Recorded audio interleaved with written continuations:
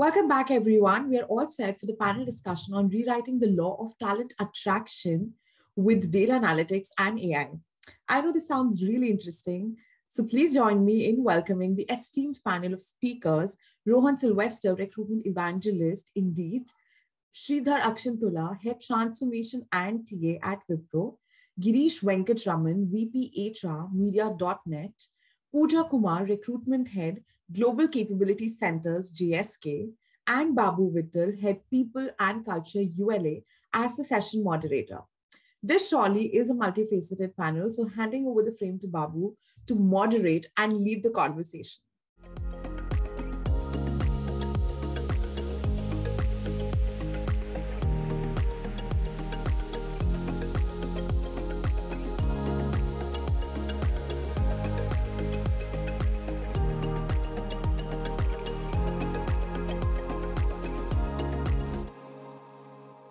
Nice to um, see all of you here and this i'm sure will be an interesting session. If not we will make it interesting. Uh, so we, we, are talking about rewriting the laws of talent attraction. Um, fundamentally i have a question on the title itself like uh, do we really control talent attraction? We are still at the mercy of candidates but we're trying to build lot many systems processes steps a couple of them, uh, data analytics, AI has come in very, very handy. And this is, we'll, we'll spend some time articulating about how it has helped and we'll go a little bit of uh, into detail. Uh, I, I see this session as merely exchanging notes, right? So looking at some of the best practices, what each one of us do in our respective organization, and we'll, we'll probably try and understand uh, much better. Uh, so that could help not just us and also the viewers in the long term will be able to solve for some of the talent attraction strategies, right? So um, I, I, have a question uh, for you, uh, Pooja, around tech hiring and uh, tech enablement. So tech-enabled hiring has tons and tons of advantages, right? I mean, you could reach out to candidates in no time. Earlier, it is if you walk into campus, it is just one campus. Today, there are thousands of campuses. Within click of a button, you could reach out and most importantly, not just about reaching out to candidate, the data what you collect, right? Not just campus, any candidates, the data what you collect throws in wonderful insights. We could start making stories, start implementing a lot based on the data coming out. The third perspective to tech-enabled hiring, I see is the cost of hiring, right? The cost of hiring significantly coming down. Our bosses would definitely love us for this, right? When we say that here is one area where we reduce uh, the cost. And uh, this is a very, very interesting space to be in, a very, very interesting space for us to operate in. What are some of your experiences? And uh, um, I mean, how do you think this would evolve in the future if you could throw in some light? be more interesting. Yeah, sure. Um, I think that's a great question. And uh, to start off with, like what you said, talent attraction, right? So uh, it is all the employers who keep uh, attracting uh, candidates, and it's totally a candidate market as of now, with uh, especially in tech, where we have seen a tremendous amount of roles and a huge supply gap so I think it's definitely talent attraction is the right uh, word I would say for the whole uh, process. Now coming specifically to your question on the tech enablement hiring, right? And uh, I think that is the future of talent attraction, right? And if I have to just reflect back upon myself as to how I was, I started off as a recruiter about 20 years ago. Uh, I used to spend the whole day calling up candidates for either interview scheduling or for HR screening, right? And believe me, it was monotonous and we had huge teams just to do this candidate calling, candidate follow up, right? But now uh, with technology coming in, I think all that is a thing of a past, right? We have uh, tools at every step, right? Like AI enabled sourcing, which would help source uh, sources and recruiters pick out if they have got 100 applications for a job, which are the top 10 applicants that they should look at based on their past hiring experience, plus also based on the JD map, right? So that is how uh, technology has enabled us. We also have uh, bot video interviews Uh, we have coding tests, which helps us, uh, you know, reduce the number of candidates that we are actually interviewing. We have automatic calling facilities, wherein just with a click of a button, the uh, kind of a bot will inter will uh, send out uh, the reminder to about 100 500 uh, candidates right? So that's where i think technology plays a very key role in the future of recruitment and if I just have to talk about GSK itself here, uh, we actually use HackerRank, which is a great coding uh, tool because we are looking for top end coders, right? So we don't actually have to interview everybody. We get them to uh, take up these coding tests. And also we use HireVue for video CV screening. So that saves us a lot of time. And um, like what the data shows, by adopting some of these tools, uh, companies have seen close to about 30% reduction in the cost, right? And uh, it's just not the cost dimension that technology enabled hiring focuses on right? It is uh, improved candidate experience improved uh, hiring manager experience and also the speed which is the essence of recruitment uh, in this war for talent and also the quality. So i think technology enabled hiring and new tools which are also coming up in the market uh, for every aspect of recruitment is uh, definitely the future of talent attraction Thanks, thanks, Pooja. I mean, very, very interesting perspective. Um, when, when, we all did this, right, we, we all believe in having hundreds and 200 people in our team so that the more bigger the size of the team, the more better our contribution is, right? That's, that's not going to be the case in the future. I'm sure. I mean, we also need to continuously reinvent on this. Um, I'll, I'll, take this question forward to uh, our panelists Sridhar, uh, where we'll talk about tech hiring and tech enablement. Thanks, Babu. You know, that's a very, very pertinent question. Um, given the context of the current pandemic um, and the remote hiring that is that is required by most organizations, or you know, maybe even want to call it touchless hiring. Uh, in this context, this is uh, a very, very important question in terms of how technology can play a big role in terms of uh, hiring. Um, and I would like to look at it in from four areas. Now, there are four areas in the recruitment cycle where technology plays an important um, part. The first one is um, in terms of uh, attracting the best talent, right? You know, um, you know, most of the time the attraction, talent attraction, is based on um, you know active candidates who are available, whose resumes are available on various job sites um, and job portals. however, there are many passive candidates who are available and who are willing to um, you know get into uh, the hiring you know get into the opportunity if they see an opportunity which is attractive um, there are quite a few technology enabled um, mechanisms that are available through, uh, to attract good talent uh, especially the passive talent uh, one of them is obviously the geo targeting um, uh, that is available. You know, this is essentially where you know you can specifically zoom in on a particular zip code or a particular you know uh, location and get uh, uh, targeted advertisements to people in that particular building or in that particular zone. Um, you know, if there are technology experts in a particular uh, building that you are aware of, and that you want to attract you know you could you could use this technique and you will be sending targeted messages to them and if they are uh, candidates who uh, are interested based on the message they would definitely uh, join join uh, and, and, get into the hiring process. Uh, so that is the first area you know attracting of the best talent. Uh, the second area which is very very important um, for hiring and the productivity of the recruiter perspective is the sourcing and screening. Now, this is one area where a lot of time goes in from the recruiter perspective because you know they sift through a lot of these profiles and go through um, you know profiles to find a perfect match for the particular opportunity. And uh, a lot of times it involves uh, manually going through these profiles, and that is how recruiters have been doing it. However, there are quite a few tools, uh, artificial intelligence based tools that are available in the market these days, which helps the recruiter in this space.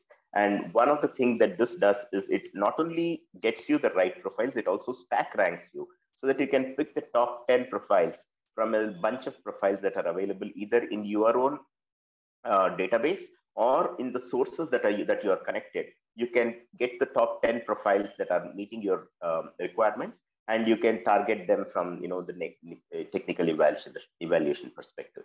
So that's the second area. The third area is in terms of uh, evaluation, screening, and you know getting the right candidate fit based on um, the need, right? So there again, uh, with the remote hiring um, happening, you know, uh, a lot of organizations face this challenge of, you know, um, how do we know that the right candidate is actually coming in for the interview? You know, is somebody else taking the interview instead of the candidate? So there are again tools here, and technology plays a big part here. You know, there are uh, remote uh, authentication tools that are available. There are remote proctoring tools available. There are tools that will help you not only um, you know one way. There are two-way video interviews available. Coding um, on you know with with the cameras on available all of these techniques are uh, technology enabled um, methods are playing an important role in uh, you know in the hiring process and the last one which is uh, from an organization perspective very important is once the offer goes out to the candidate you know the candidate needs to be engaged and this is very very critical for an organization because you know every candidate who does not join is um, is equivalent to um, uh, twice the effort that the recruiter has to put because the first effort has already gone in and that has gone down the drain. You need to find another person to fit in, fill in that role. Now, uh, here is another question. Um, Rohan, I'm, just coming in to you uh, more to understand around uh, employer branding, right? So everything is taken on. Most importantly, um, like we say, the data is the new oil. Probably it's a five, six year old statement, but now data is the new data, right? I mean, and everything is centered around data.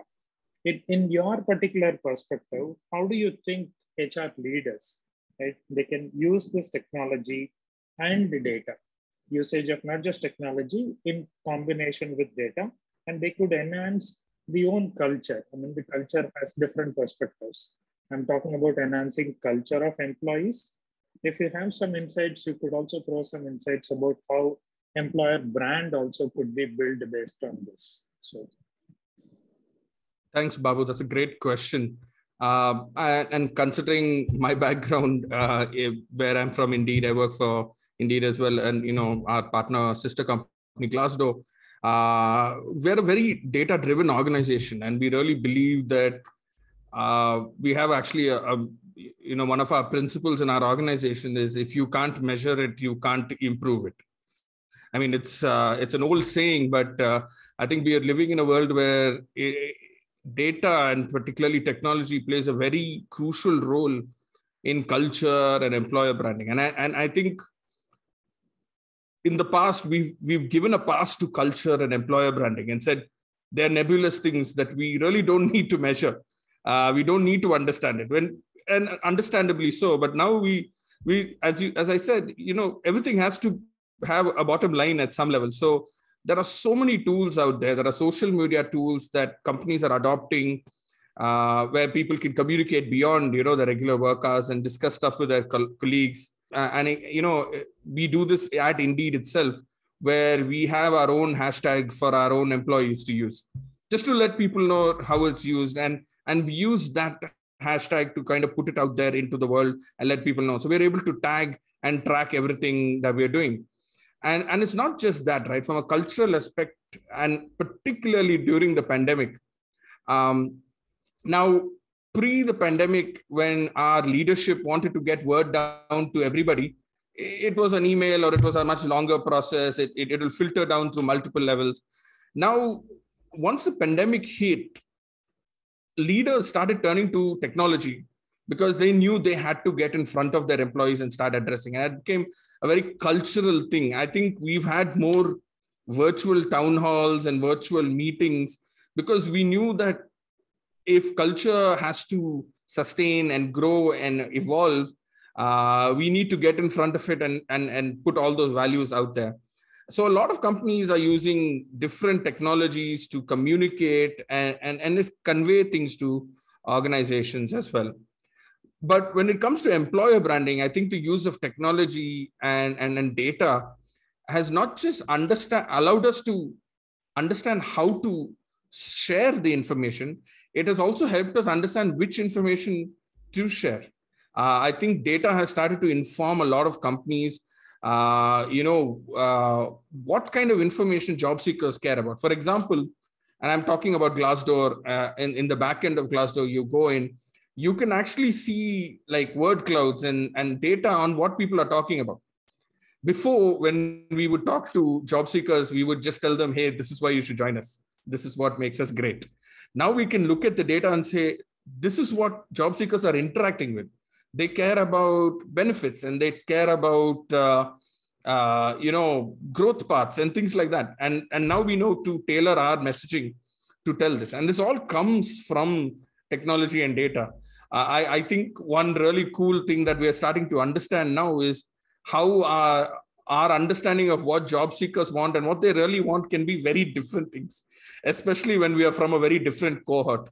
Uh, for example, pre pandemic, if you had asked me, one of the things that you would have looked at before getting a job, uh, medical insurance would have been very low on my list of things to care about. Right. And understandably, uh, very low on the list of everyone's things to care about.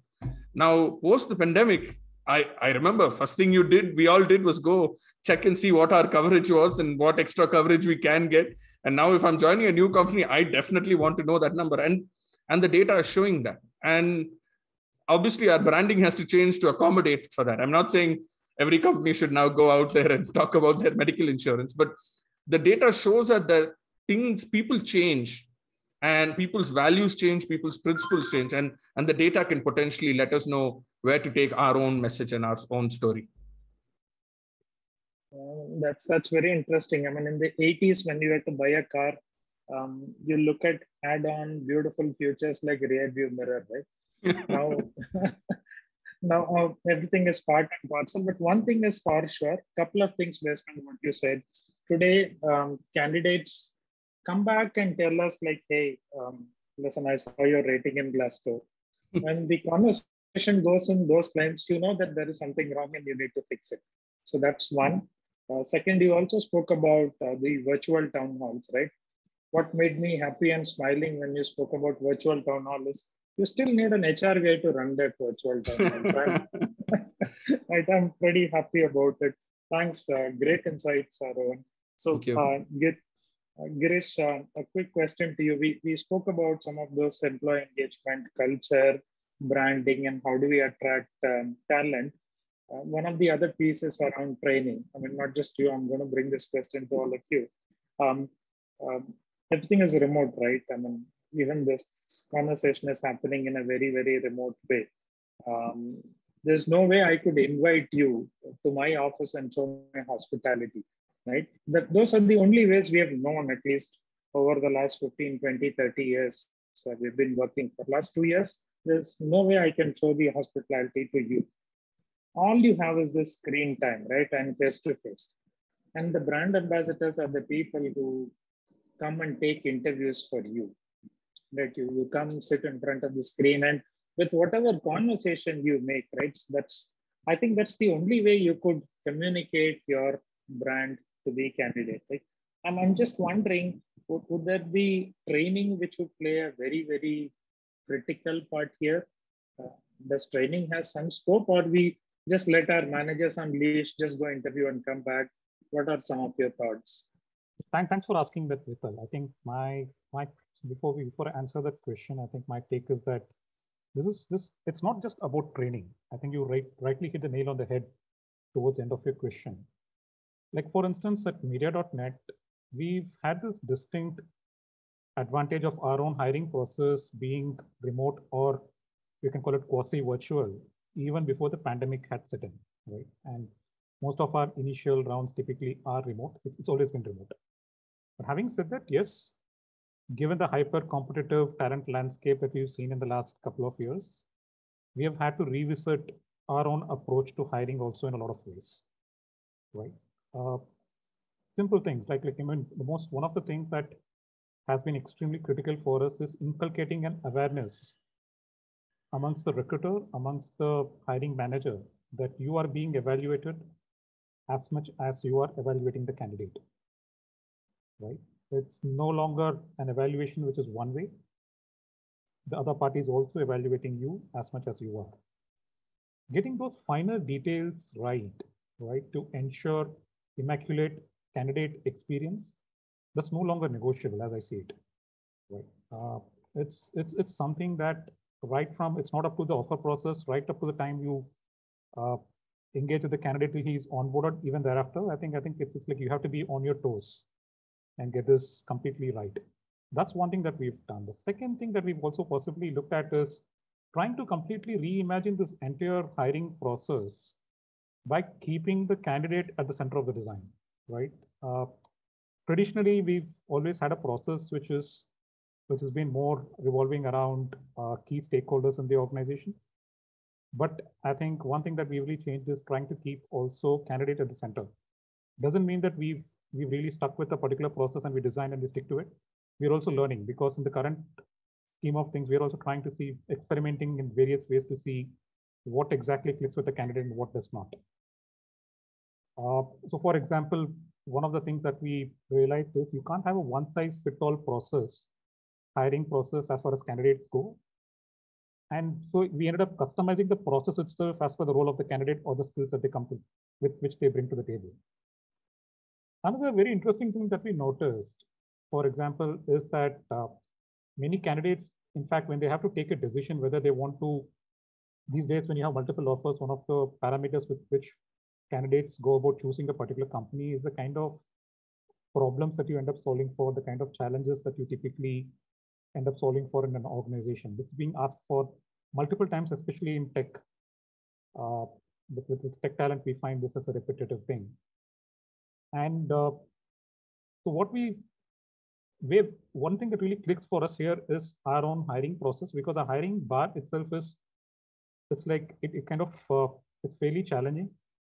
It it's fairly aspirational for the candidate and gives them a fair bit of an indication in terms of what kind of problems that they end up solving in case they end up joining the organization right so that that really helps us of course we do have the usual things in terms of ensuring that there's a product pitch that happens to the candidate, uh, explaining features of the product in which they'll be working. Now, but having said that, one other interesting uh, thing that we've done, because at the end of the day, you also, like you rightly said, we have to communicate the story in the short time that you have. And uh, one important aspect is who does that pitching, right? And who, who essentially does that pitch to really drive home the point with the candidate. One thing that's really worked for us is when we typically get, if you find the candidate has actually impressed us in the initial rounds, what we do is we let multiple teams to pitch for the same candidate.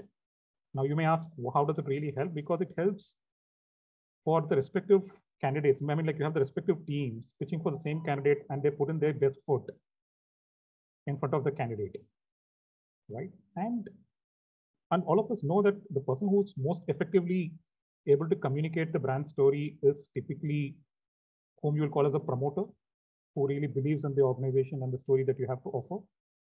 And in addition to the hiring manager, what we've typically seen is uh, one other person who's, who's typically a great promoter would be all the people, all the employees who end up referring candidates to you, right? So again, they are that's that's another potential pool who feel is able to deliver the, the internal brand story far more effectively right? And hence we do pay a lot of emphasis in terms of promoting the employee referral as a channel, and that really helps us. One uh, another important thing I want to share is like what we really realized is we've not really tried to uh, script the approach that a hiring manager needs to take with a particular candidate. Right? We let them to use the natural styles, use their own respective strengths to build rapport with the candidates, right? And that in turn helps them to understand what really clicks with candidates, what are the drivers of the candidates, and it helps them to play back to us in terms of uh, telling what exactly are the drivers. And then when we actually have to make offers, we are then able to package it in a far more holistic way rather than trying to make a transactional conversation at that stage. Uh, of course, now what this could mean is some, some hiring managers possibly have better conversion rate. And the way we typically manage that is also to share those best practices and see how, how is it that we can get consistency in terms of the success that we achieve there. That's that's so nice, Girish. I mean, very interesting perspective, right? Where I can um, customize my own process. I can play it to the style. Um, yeah, Pooja, wait yeah just uh, just a couple of things i just want to add to what girish said and completely echo everything that he said right so right now in this war for talent interviews are is actually a place where the employers should do the live branding right of themselves of their story right?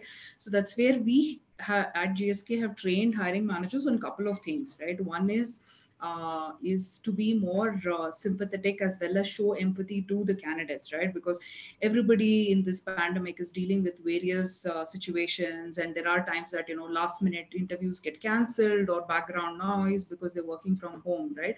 So that is one thing uh, that we have uh, kind of trained all hiring managers uh, to be more empathetic towards candidates and use the first few minutes of the conversation to kind of break the ice to check in with them in terms of what they how are they dealing with the pandemic right and uh, we also use that time to showcase as to what we at gsk are doing to make uh, employ to help uh, employees deal with the pandemic so that is one of the trainings that we have provided to hiring managers in terms of empathy. And the second one that we have done, which has really helped us, is in terms of uh, giving training on unconscious bias, right? Uh, it could be like you know a both positive uh, unconscious bias that you know you're looking at candidates who are coming from certain companies. So you have this preconceived notion that you know they're really good. Or it could work even the negative way that you know these are candidates who are coming from let's take tier three organizations right?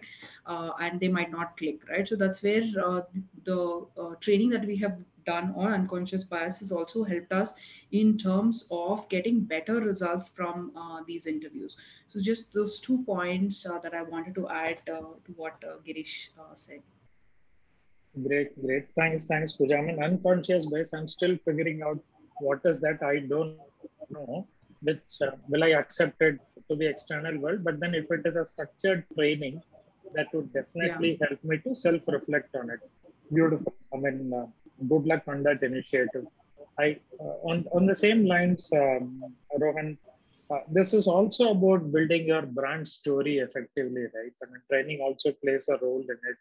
Uh, if you could add some of your perspectives, that would be great.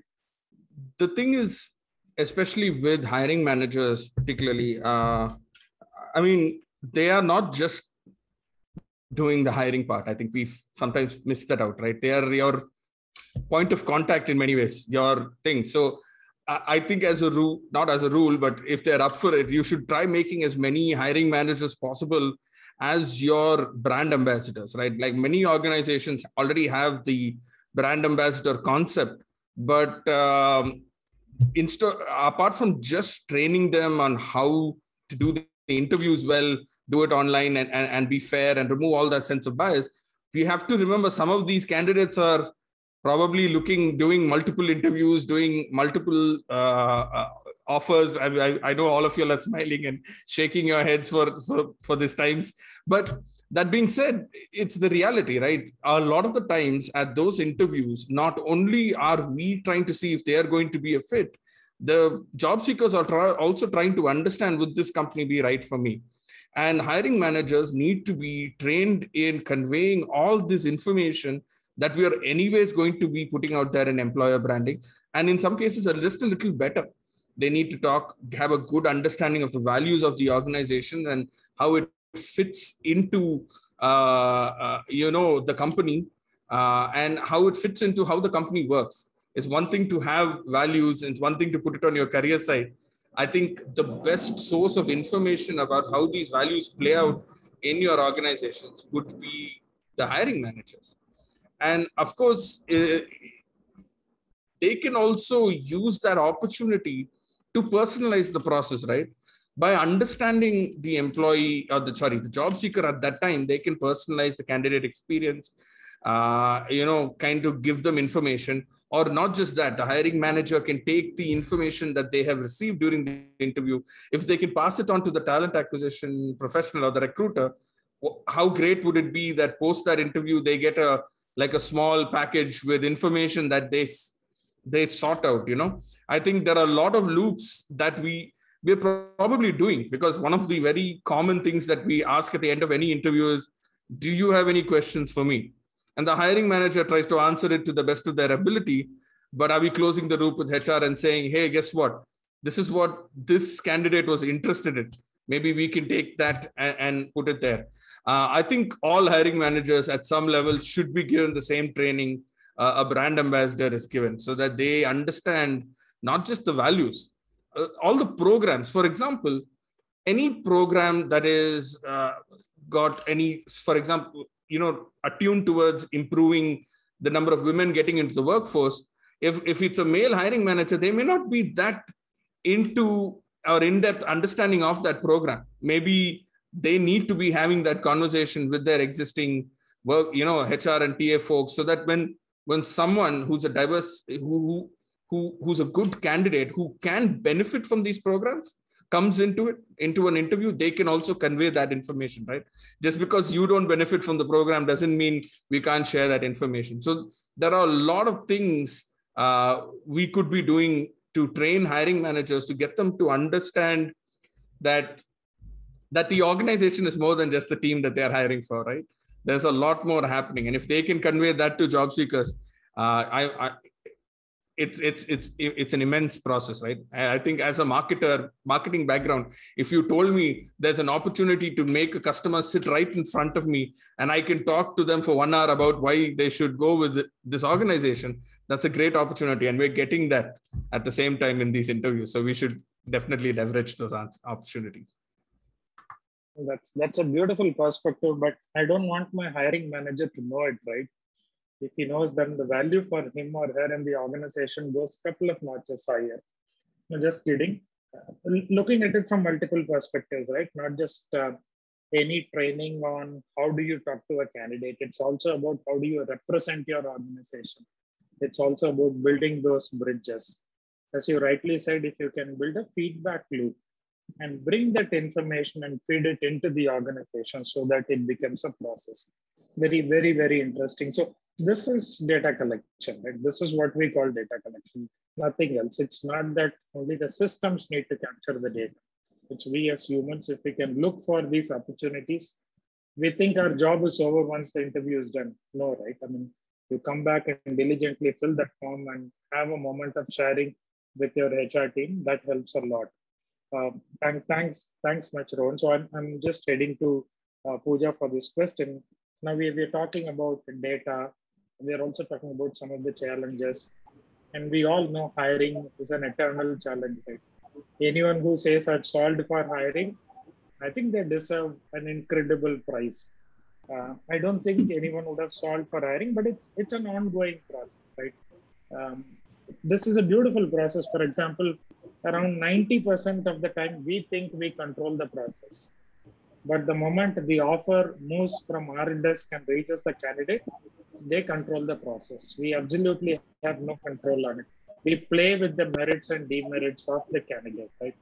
So it's, it's, it's very, very interesting if you travel this path of 25, 30, 45, 90 days along with a candidate and all of us are eager to convert his stamp from a candidate to an employee.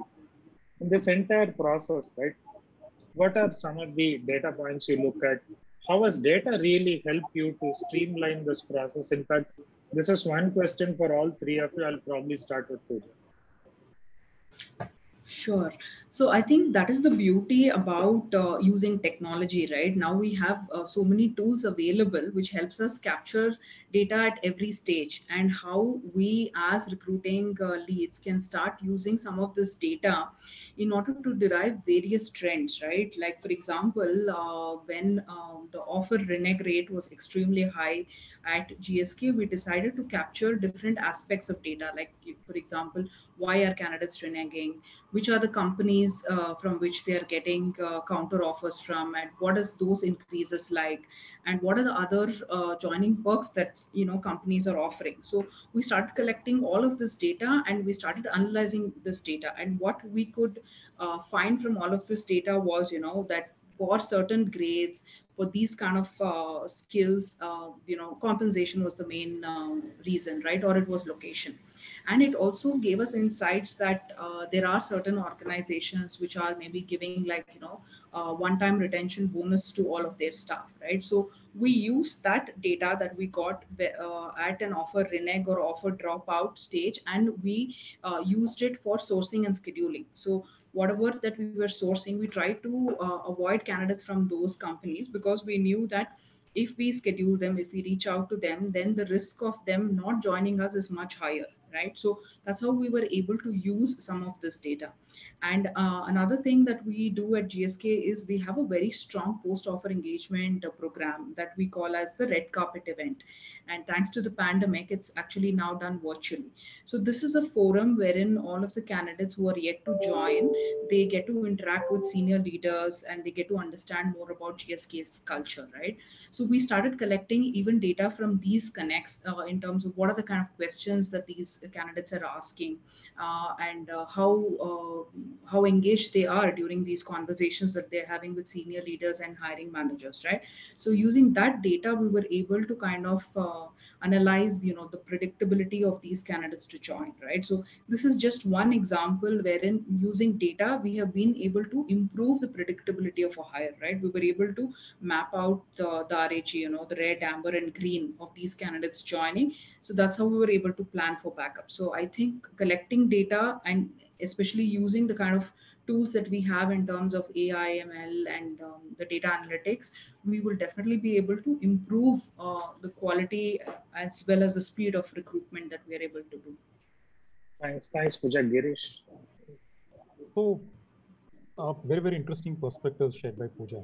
And I think during the course of this conversation, one thing that's been established is that there is a lot of data that's available, right? And there are multiple sources you have the technology that's available today, the kind of applicant tracking systems you have. I think there's a lot of data that today is available at the beck and call of every single organization. And but having said that, I think one thing that what we typically realize is that all the data that you collect during hiring, I think it needs to be interpreted in the context in which it is collected. Right? And that's been a learning for us in a major way. What I when I mean the context in which it's collected, what I'm referring to is the talent that you meet in the market, are you able to segment that talent into various categories and then try to understand the data better? Now to do that, you can't have, you can't look at data analytics in isolation. You need to have an internal assessment capability and a process that is enabling you to segment data when you look at talent in the market and then validate with the data that's coming out. And that typically helps you to make meaningful interpretation of data and to take the right decision. Let me give a small example, for instance. For example, when we, so if you let, let's, let's uh, uh, imagine that if you have to categorize all the talent that is available in the market, say into a two by two grid of demand and supply being high and low, right? And when you look at the quadrant which would typically represent the high demand and low supply. I think we spoke about it some time back. Uh, so which could, let's, let's, for the purpose of this discussion, assume could be in the tech world, it could represent uh, people with skill sets of say artificial intelligence, machine learning, data sciences, so on and so forth. Now, what we've historically seen is that this particular quadrant, people belonging to or talent belonging to this particular quadrant have been paid differentially compared to the rest of the quadrants right? And this has been established in through various surveys by calling it premium skills, whatever you want to call it. But one uh, interesting trend that we have noticed, noticed through our own analytics is that the trend between these, I mean, the line between these quadrants is now very, very distinctly blurring. Right. And what we are noticing is that, and talent with not so premium skill sets as well getting lucrative offers out in the market right? And that that that that's definitely raising questions of sustainability. Now being on top of the data analytics play in the manner that i've just mentioned has helped us to ensure that we we are possibly avoiding the mistake of trying to looking at problem skills i mean the skills for problem solving abilities which which is a common mistake that most recruiters and hiring managers these days and many companies I've seen make. It helps us to then make optimal offers to the candidate, right? Now, one other thing that I've okay, that's that's at a uh, we've, we've looked at more in terms of how the play of analytics works there. At a more operational level, I think how analytics has really helped us is to it's, it's kind of helped us to unravel and understand how various organizations structure offers. Like we Pooja made a mention about whether it's retention bonus, what kind of what kind of components are typically uh, being offered? Because I'm quite sure each of us would have faced situations where you've got a business lead or a business manager or a hiring manager walking up and saying and talking about some obscene number that's being offered by competitors and how do we really react to it, right? But then being on top of the data play helps you to respond rather than react abruptly in such situations, right? Because you do find that many times that if you get into the details of some of these offers that are being made, it could be a play of, say, for instance, uh, uh, it, it, could be a simple play where the, the competing organization is representing, is trying to use a different appraisal cycle or a reward cycle to show a completely different cash flow to the candidate and represent it as part of the CTC. So one way we've been able to address that is to demonstrate annual cash flow to the to the candidate, not only in terms of how we structure the packages, but also in terms of the competing offers. Right? That that's that's been one way how we've been able to use analytics in that sense. The last but not the least, one very, very interesting way how we've also used this is we're not restricted only to hiring, but also to ensure that our internal talent is priced appropriately with respect to these evolving trends. So these, these have been some of uh, the ways how we've been able to benefit uh, from uh, the data analytics that we spoke about. Very interesting. Thanks, Girish. I mean, demonstrating the cash flow to the candidate, right? So that's where all of us go wrong we all want more and more take home and there's always we, we are in the middle of that jokes from where what HR promises and what you take home is totally different. If you could give that in a credible way, nothing like it. That's very interesting. And Rohan, your views. Uh... the thing is about data right now, uh, that a lot of companies have been collecting it for a long time, right? Uh, and and the thing is within the organization the funnel information is, is pretty good. Uh, and I think in this day and age of data and analyzing, it's of course it's very critical uh, when it comes to attracting the right candidates. Uh, particularly things like conversion metrics and things like that. Uh, now, let me talk from my perspective. What I've seen, uh, there are few areas where we are seeing drop-offs, and and a lot of the times we attribute it to something else, right? Like for example, we see a lot of people uh, coming to our career site not applying, and, and we might be saying, hey, maybe it's, it's, they're not just interested in the job. But a lot of the times, what can happen is maybe they have not understood the process completely. Like I work a lot with companies where we talk about job description starting right there, right? I'm saying if we are having people read your job description but not apply, maybe it's not. I mean, we make the assumption is they're not interested in the role but uh, there are other ways to approach that uh, drop off ratio, right? Uh, the fact of the matter is, in many cases, there is a misunderstanding about what the role is all about. Uh, and, and it's not the recruiter's fault. The recruiters who are hired to do a role, they're, they're not content experts, they're not content writer. Uh, I, I, I, always say we, you should be reaching out to your marketing teams and talk to the experts. Uh, there are SEO experts, who've been working on things like this for the last 10 years, who've been fine tuning one word on a on, on, on a single page on your website just to make sure someone sees it you know? And and it's things like that that that and and the reason they make that change to that one word on that one page on your website is because the data is telling them that. And i think we need to start using similar things where we look at these conversion metrics and see where the drop off is happening. Is it employer branding? Is it the description that we are? Are we conveying the right information. I, I really liked how Girish was talking about showcasing all you know the the cash flow and things like that. And that's those are interesting things that job seekers care about, right? It will actually help uh, in the long run when we share all this information that they care about uh, as well. We see a lot of drop off during the interview stage. We we assume it's because they didn't uh, like the interview process but maybe it was the fact that at this stage they figured out the pay is not what they were expecting it to be. Like if we had been upfront right then, our conversion at the top of that funnel, the metrics at the bottom would would would have gotten much better. And and the use of data to find the right people can go beyond that, right? We do we and Indeed we talk about sharing information about labor markets, right, in, in specific areas and locations. And we use the data, like how many people are searching for uh, software engineering jobs? How many people are searching for these kind of jobs? A lot of companies uh, decide to set up operations. They try to hire uh, and i've heard it of course like we want 50 of these kind of roles. And i'm like are there 50 people who can do that role in this location uh, should we be looking at it at a much broader scale right? Rather than just having this office right here should we be looking at all of this? So at every stage even before and i think that's where hr and talent acquisition can become a very strategic partner to the business.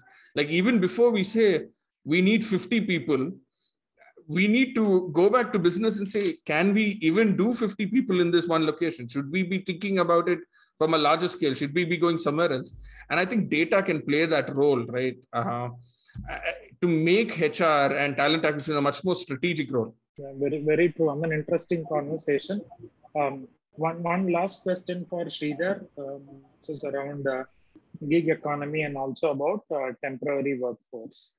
Um, you know, the gig economy, uh, you know, the, takes the question a little bit uh, different direction. You know, typically when we talk of temporary workers, it is the contract, uh, you know, contractors that we hire is what we talk about. You know, how do we bring uh, contractors onto our workplace? But since you mentioned gig economy, I want to go a little further on that and, and talk a little bit about uh, certain initiatives that we have done and you know many players in the industry are doing that. Is in terms of crowdsourcing, right? You know, there are orga- organizations, especially in the current gig economy, um, there are a lot of technology professionals out there who are ready to um, you know be a part of the uh, organization to provide and contribute for specific initiatives or specific projects. And uh, organizations are looking to tap them.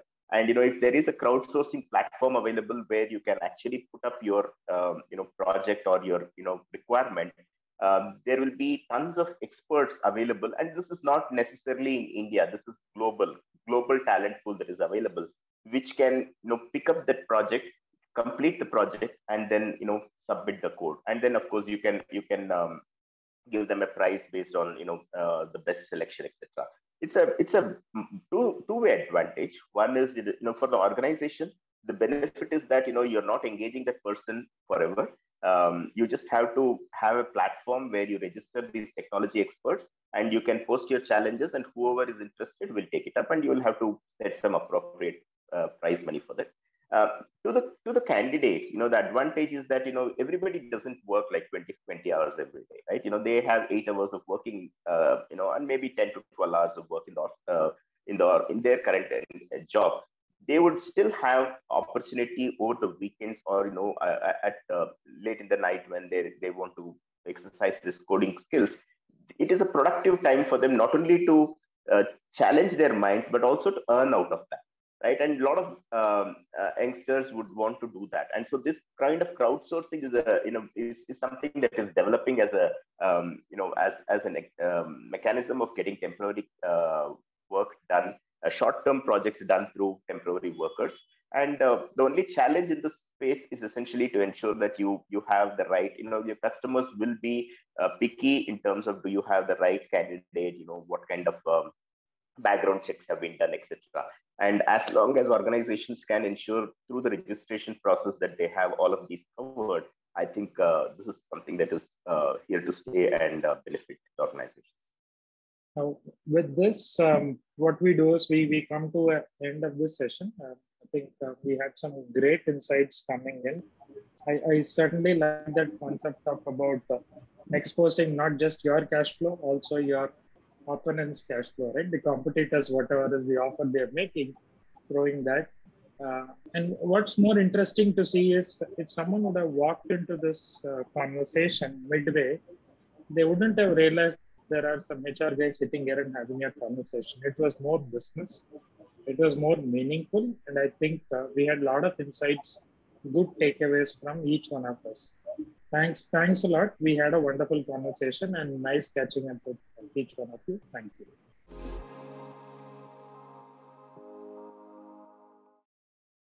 Well, what a dynamic conversation this was. Thank you so much, Girish, Pooja, Rohan, Sridhar, and Babu. I'm sure the audience enjoyed this conversation because I surely did. Keep sharing your learnings and reflections from the summit to the outside community using the hashtag ETHR Next Tech.